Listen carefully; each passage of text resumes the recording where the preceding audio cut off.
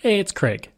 I just wanted to let you know that you can listen to Canadian History Ehx early and ad free on Amazon Music, included with Prime. Greetings and welcome to another episode of Canadian History Ehx. Today's episode is sponsored by the town of Millet. Throughout this episode, I'm going to be looking at various things in the community of Millet, its history, and some of the things you can check out. I'll also be talking to Tracy from the Millet Museum about the history.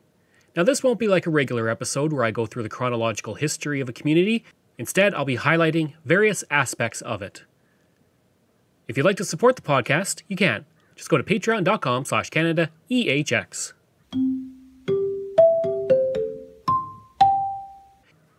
Indigenous History Prior to the arrival of Europeans, the land around Millet was occupied mostly by the Cree people, who moved through the area following the bison. The movement of the indigenous would have a very big impact on Millet, and likely contributed to its founding. The paths the indigenous took through the region would be used by fur traders and explorers, which led to the establishment of Fort Edmonton. From there, the trails eventually grew in use, and when it came time for the railroad to go through, the path the indigenous took for centuries would be the path of the railroad. From there, Millet would be born as a new community. Today, Millet sits on Treaty 6 land. The founding of Millet. Millet is unique in terms of communities in Alberta because the origin of its name comes from several different sources. One source says that the name comes from Jean Francois Millet, who was a French painter and a favorite painter of William Cornelius Van Horne, who was a railway owner that named Hobbema, nearby to Millet, after Meindert Hobbema, a Dutch painter. The other origin of the name, and much more likely according to local historians, is that the name comes from August Millet. Now, I'm going to be pronouncing his name Millet because he was a French fur trader, and that's likely how it was pronounced. He was a fur trader who often moved through the area, and sometimes Millet would work for the Hudson's Bay Company, and other times he was under the employ of the Northwest Mounted Police at their outpost at Fort Saskatchewan. He was often a travel companion and guide for Father Lacombe, one of the most celebrated figures from the early history of Alberta, and for whom Lacombe, Alberta was named. This is where we get back to William Van Horne. He asked Father Lacombe to name stations along the Edmonton Calgary Railway line, and he would suggest several names, including Ledoux, which is now pronounced Leduc, in honor of a fellow missionary, and Millet, or Millet, for the travel companion who joined him on so many journeys. August Millet would eventually die tragically while trying to cross the Red Deer River. It's not known where Millet is buried, but the community that shares his name has a memorial to him. Here's Tracy from the Millet Museum. Father Lacombe decided to name this station Millet after his longtime traveling companion, and his name was August Millet. August Millet was a fur trader who sold furs to some of the earliest known residents of what is now the Millet area. And Millet was a canoeman for Father Lacombe on his very long river trips. In 1883, the CN Railway would reach Calgary, and the road up to Edmonton was a cart trail that was getting busier. Stagecoaches carrying passengers, mail, and freight would go up the road, roughly 300 kilometers, taking five days. Each night, the stagecoach would stop at a stopping place. In Millet, the most common stopping place was that of Frank Lucas and his family. In 1890, the Calgary Edmonton Railway Company would be formed, and 6,400 acres of land would be granted for the railway to build on. In August of 1891, the railroad reached Strathcona, just south of Edmonton. The first person to live in the Millet area was Ben Slaughter, who was also friends with the aforementioned August Millet. He had a store and living quarters on the east side of the railroad and served as the first postmaster for the area. That store was an important place to stay in those early years. T.H. Howes recounted in 1978 that, when we arrived with a car of settlers' effects on April 7, 1900, Mr. and Mrs. Henry Wright and their daughter were living in rooms over the store of Ben Slaughter. They were kind enough to let us stay in the store part of that first night. Within a few years, more people began to live nearby, and in 1901 several buildings were in what would one day be Millet. A store would be built by B. A. Van Meter in 1902, followed by a hotel that same year. On June 17, 1903, the village of Millet was established with James Blades becoming the first overseer of the community, and the community was ready to grow. The Nebraska Club. Many of the early settlers to the Millet area came from the United States, looking for cheap and plentiful land. Many were far from home and knew very few people. For the women, who are often at home for weeks on end, it could be a very lonely existence. Many of the families in the area had come from Nebraska, and they would meet at each other's homes on a regular basis, singing songs and playing games. Homemade ice cream was often served during the potluck suppers, and eventually the group of families started to call themselves the Nebraska Club. The 1927 Town Fire. Fire was an ever present danger in many rural communities in Alberta, and before modern firefighting techniques, a single fire could destroy an entire community. In October of that year, a fire broke out in Vic's garage around 2:30 p.m. when a gasoline engine that was being repaired burst into flames and quickly burned down the entire building. In a terrible stroke of bad luck, the chemical apparatus that was the firefighting equipment of the town was in the garage when it burned down. It could not be reached due to the flames and heat, and a bucket brigade was started, but there was not enough water to deal with the raging fire. Help was summoned from Wetaskiwin and Leduc, and threshing gangs came in from the fields to assist in dealing with the fire. In the end, the damage would be $50,000, or $750,000 in today's funds, and it would destroy most of the downtown area. Mayor A.P. Mitchell would lose an entire business block and lose most of his household effects and clothing. Also lost in the fire were Graham's Pharmacy, F. Day's legal office, and Dr. Ward's dental office.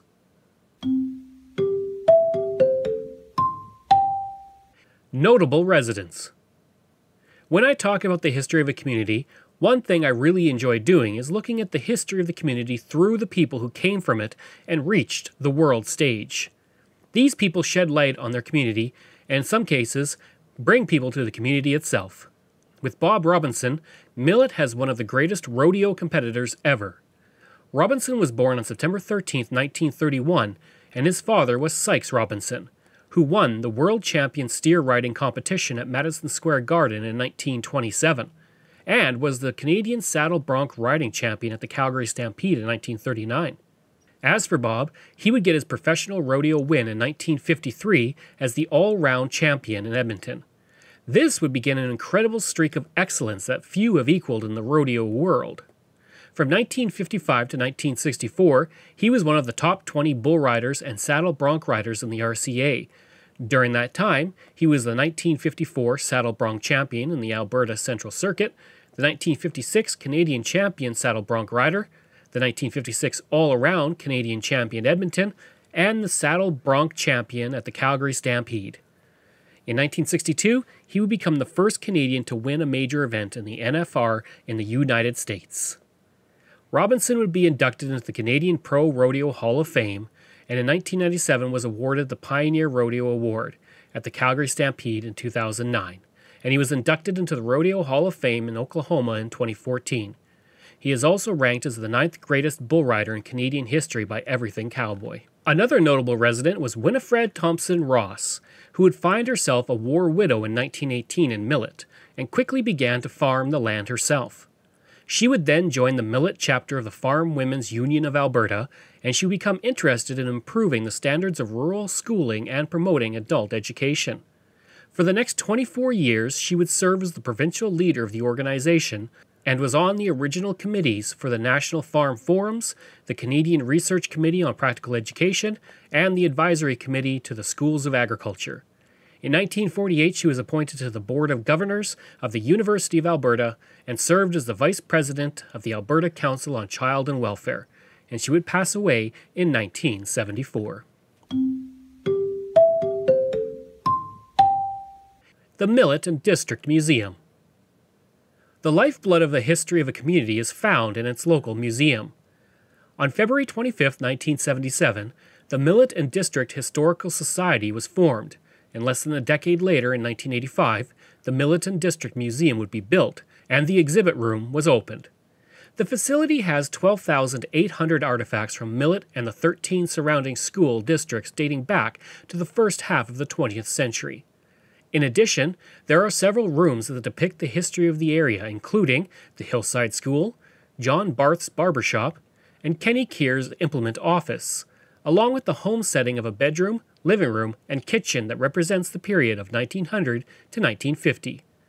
There is also the Veterans Wall in the upper floor of the museum, which features the portraits of the Millet and District veterans of the First and Second World Wars.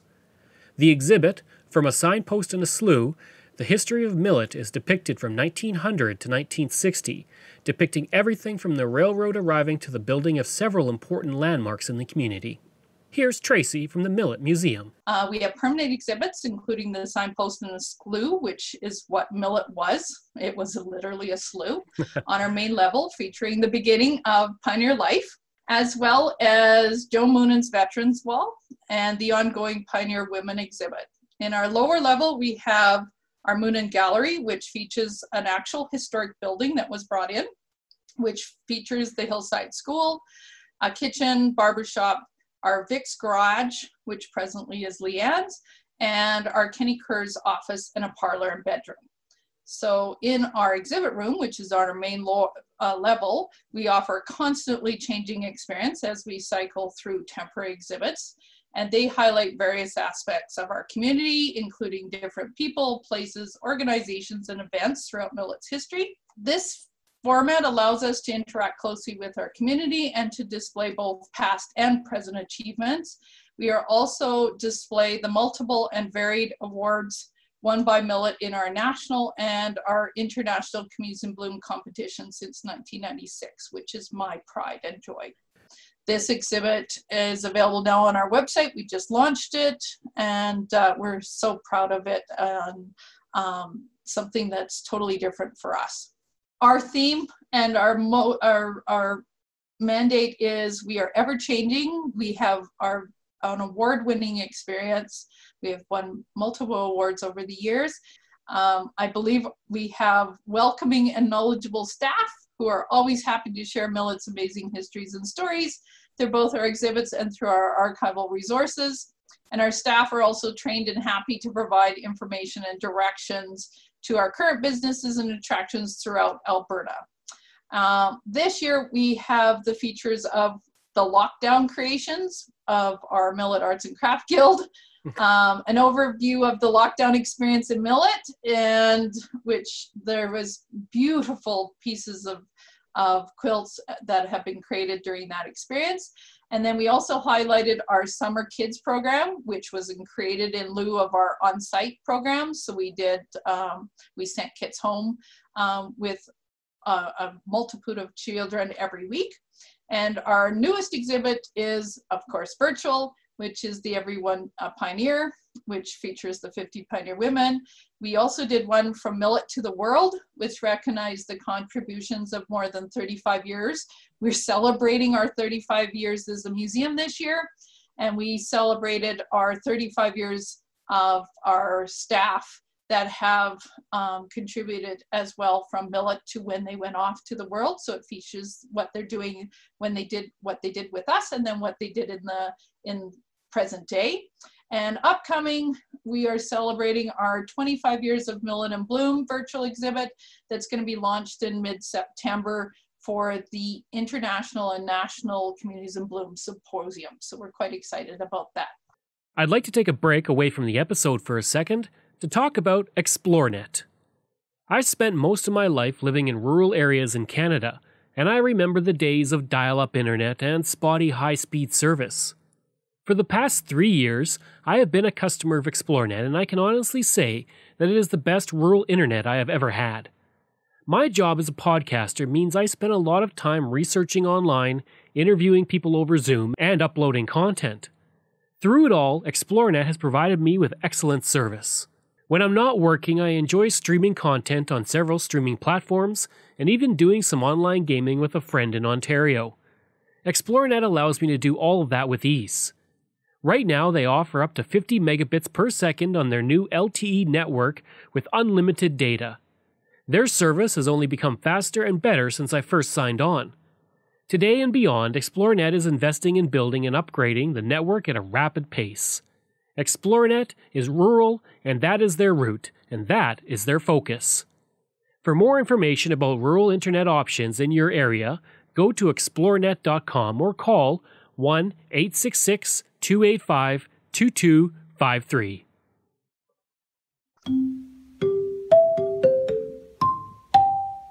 The Millet Town Murals. The history of Millet can be found not just in books at the museum, but on the walls of the buildings throughout the community.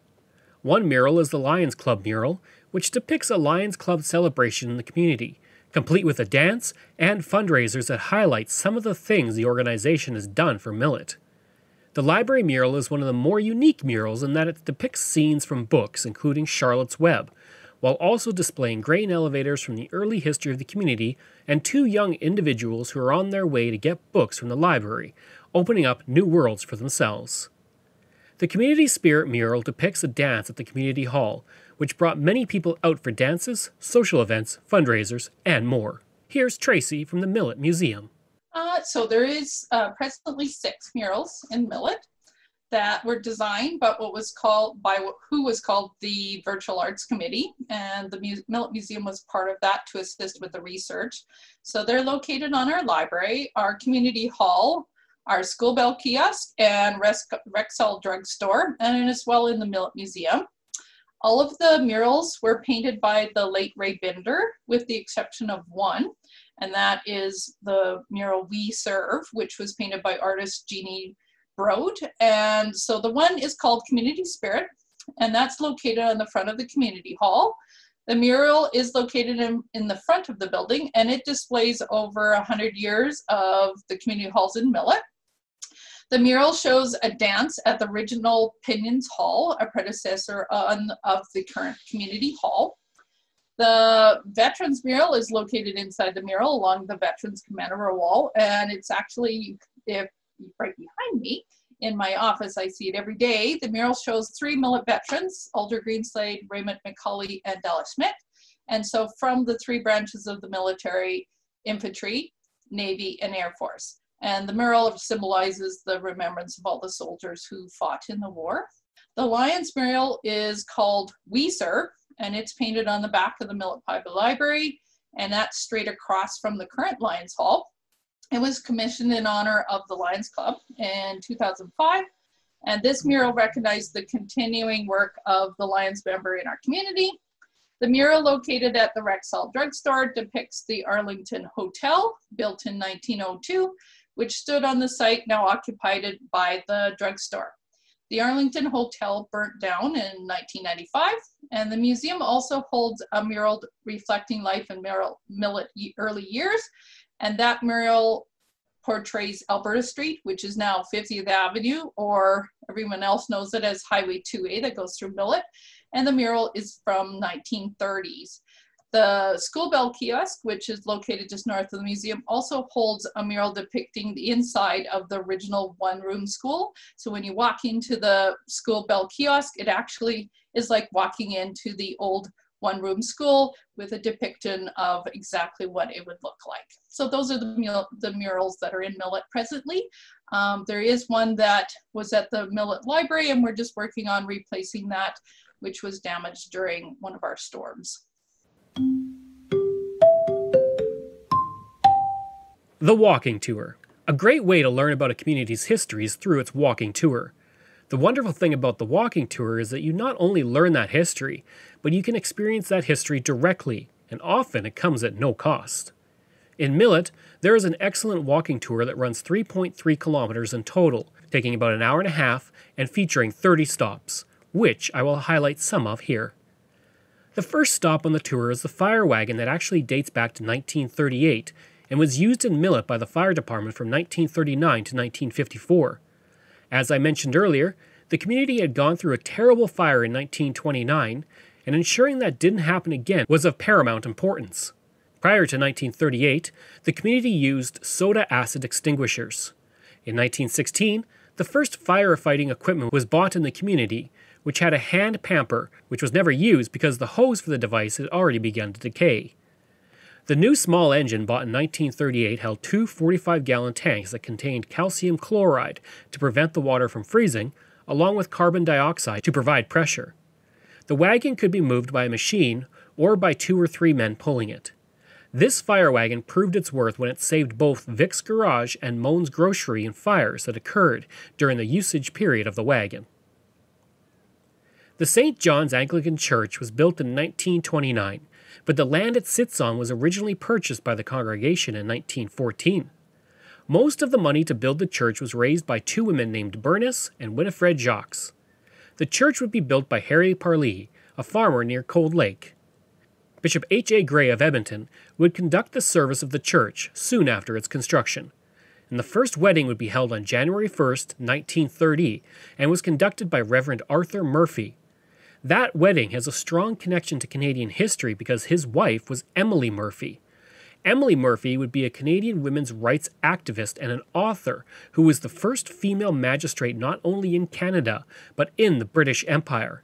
She is also one of the famous five, who were a group of women that fought for women's rights and launched the Persons case.